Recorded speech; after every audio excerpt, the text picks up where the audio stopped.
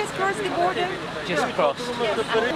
We were like running away from war because we heard explosions. We knew that the war was had started and I felt very panicking. Yeah. And I had plans. If the war would start, I would run away. So how does it feel to be here today, Valentina? Mixed emotions.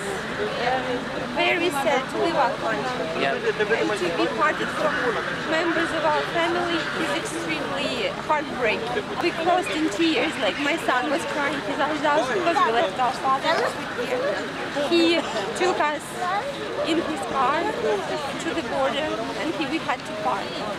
And the journey was very difficult. And Valentina, how's, how's Sasha feel to be here now? He feels uh, happy to meet nice people because he feels welcome. There is so much help from all over the.